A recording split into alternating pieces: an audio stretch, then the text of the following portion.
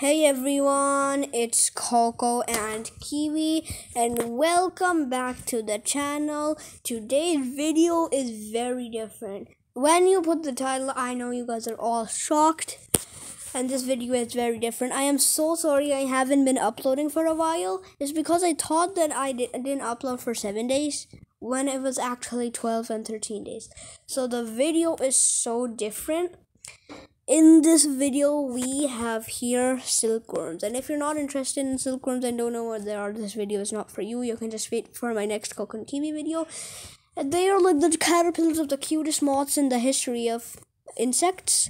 So this is the silkworm keeper box. I got all of the silkworms and the whole kit from coastal silkworms so this kind of sponsor for the video coastal silkworms you can get your own silkworms from there. Nice prices. Whole kit for of silkworms so here we have it. Let's open it up. Okay, here we are. The reason they are black lines, yes, those black lines are actually silkworms.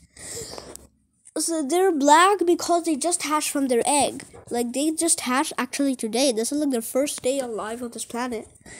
So I just came back from somewhere and then I just opened it up and I find that all of the silkworms has hatched like almost all of them. Probably the uh, the ones that didn't hatch are probably died. Not all of them make it out of the shells, but like half and a quarter of them hatched.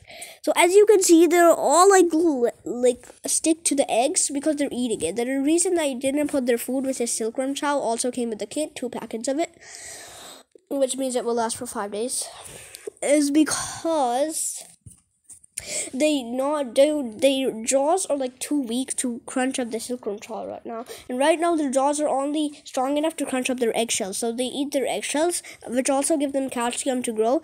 And after like 48 hours i will give them their first silkworm chow when their jaws are strong enough to crunch it. So right now they're just sitting there.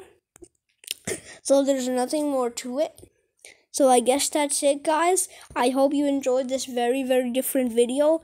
And I'm really sorry I haven't been uploading. And I will upload my Coco and Kiwi video in a few days, like uh, update on Coco and Kiwi. There's kind of nothing to make about them. So I guess that's it, guys. I hope you enjoyed. Thanks for watching. Bye.